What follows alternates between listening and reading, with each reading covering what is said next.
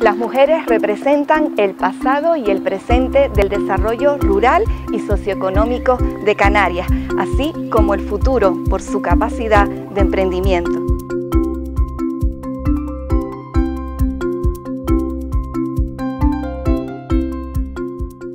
Buenas tardes y bienvenidos a este segundo programa de radio Más Nosotras.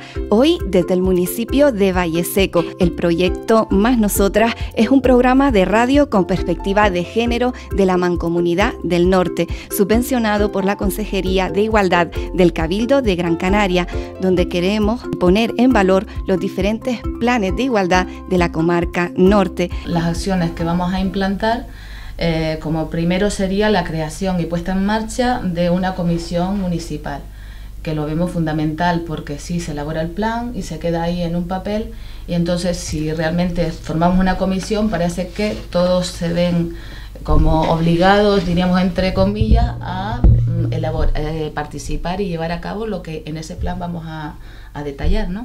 Y siempre intentamos eso, hacer algo que destaque igual alguna mujer precisamente por su función rural, que todas las mujeres rurales, pues el, doble trabajo, triple que siempre han tenido de la hora de quererse formar, de tener que llevar una familia adelante, el entorno que nunca ayudó para desplazarse.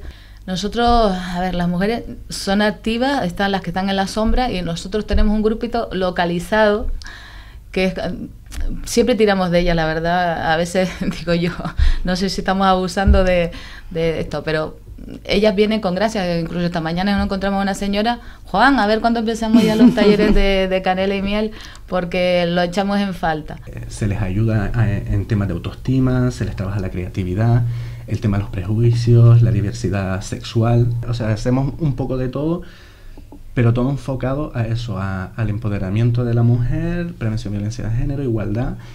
Hacemos visitas culturales, ya han recorrido muchísimos museos, hemos hecho actividades al aire libre enfocadas a un momento de, o sea, por decirlo así, un momento para mí de, de, relajación. No hay nada más gratificante que tener las gracias por el simple hecho de llevarlas a un municipio aquí al lado, que, que no tardamos 20 minutos en llegar, y que te den las gracias por, por dejarlas sentarse en una terraza a tomarse algo. Siempre que vienen las subvenciones de tanto para de, violencia de género como de igualdad, siempre contamos todas las actividades, mm, siempre metemos en de violencia de como de igualdad, siempre contamos todas las actividades, mm, siempre metemos en ese planning el colegio. Es fundamental lo, que dices tú, si no se empieza desde la educación, desde las edades iniciales, pues cómo van a crecer ellos, ¿no? Soñé en una isla que tenía un gran corazón. Que niñas y niños eran educados en igualdad de oportunidades y también que tenían voz. Bueno, el vídeo fue, a ver, fue hacer un par de fotos, pero las fotos de por sí querían significar, eh, en la primera aparecíamos niños y niñas por separado. En la foto siguiente aparecíamos niños y niñas mezclados. Lo que queríamos anunciar era que todos debíamos estar en el mismo bando, no contra uno contra otro. Después también dijimos unos mensajes para que los niños del centro se animaran a participar en el comité y contamos un poco una historia de las hermanas Mirabal que murieron asesinadas por defender la igualdad de derechos de las mujeres.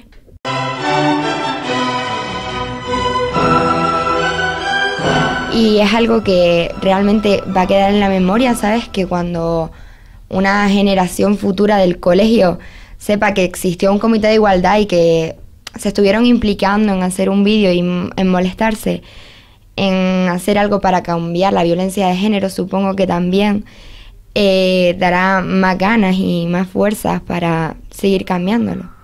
Aprovecho esta oportunidad para decirle a todos los niños, adolescentes y hombres del CEO Rey Juan Carlos I y a todos aquellos que me estén escuchando que tenemos que hablar, que implicarnos, que acompañar a las mujeres en este camino, porque las personas que viven en igualdad son más felices.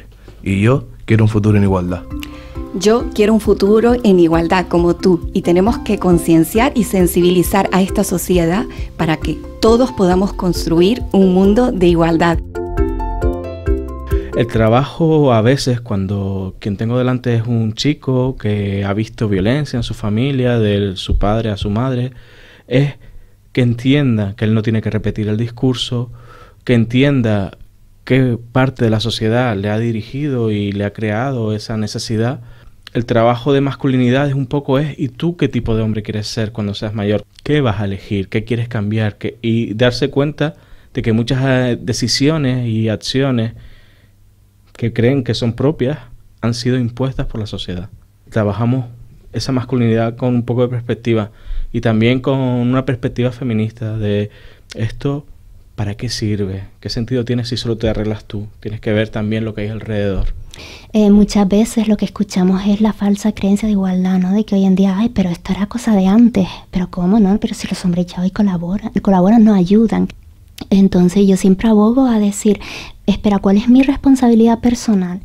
porque mm, vale que esto no va a cambiar a corto plazo, pero no puedo posicionarme desde ahí, tengo que posicionarme desde eh, cuál es mi responsabilidad en todos los ámbitos sociales de mi vida, dentro de mi hogar, en mi trabajo, con mis amistades, desde donde me posiciono yo desde donde estoy tanto para hombres como para mujeres y no quedarnos en el discurso de lo que debería de ser, sino cuáles son mis actos, se corresponden con mi discurso con lo que debería de ser, yo lo implemento a diario en mi vida, yo creo que ese es el secreto para que mm, esta sociedad vaya cambiando y, podamos disfrutar de, de una igualdad que va a beneficiar tanto a mujeres como a hombres.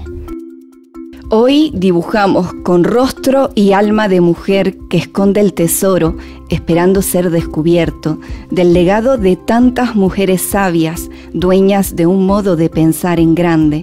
Recuperarlas y darle voz es una deuda y un orgullo, y la oportunidad de conquistar un territorio vital y social. Eh, cuando yo nací, mi padre tuvo que emigrar, eran tiempos difíciles no había trabajo ni nada y entonces él decidió irse a Venezuela. La verdad, allí tenía mi familia, hice mis amigas, mis amistades y todo. Me casé y nacieron mis dos hijos allí también. Nacieron tus dos hijos y un buen día tu marido te invita a venir de vacaciones a Valle Seco. 45 días en Valle Seco y ahí de alguna forma viste un antes y un después. Sí, me quedé, a ver, sorprendida nos vinimos. Dejé allí, pues dejé a mis padres, a mis hermanos, mi familia, mis amistades, toda una vida. Nos vinimos y mi esposo se enfermó. No todo en la vida sale bien siempre.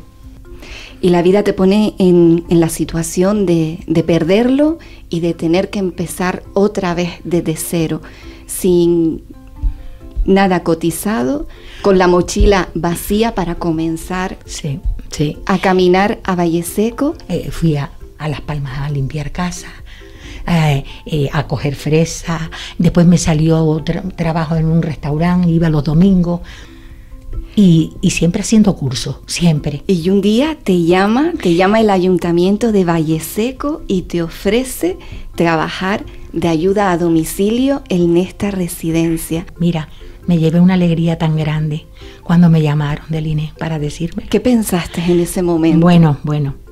Yo siempre, nunca había tirado la toalla, ¿eh? ¿Sabes? Siempre decía, las cosas van a ir bien, venga, hay que ser positivo en la Hablando contigo, eh, veo eso, que eres una mujer positiva, con una gran voluntad, con mucho carisma. Y estoy segura, Isabel, estoy segura que eh, todas esas mujeres que nos están escuchando desde Radio Valle Seco hoy van a, van a sentir eh, que tú, de alguna forma, las vas a inspirar, las vas a motivar. Yo les voy a decir una cosa, yo en mi infancia nunca me faltó nada. Y cuando me casé tampoco, pero yo me vi aquí sin tener que comer. No teníamos para comer. Mi esposo enfermó, no teníamos para comer. No iba a la tienda porque no, no podía ir a pedir fiado porque no tenía para pagar. ¿Eh? Pero la gente me ayudó y mira, y fuimos saliendo adelante. Salimos adelante. Sí, sí, todo fue, de cada vez fue todo mejor. Y mira, y aquí estamos. Por eso yo lo que les recomiendo es que ante las dificultades de la vida sean más grandes ustedes. No se achiquen nunca, porque la vida es así.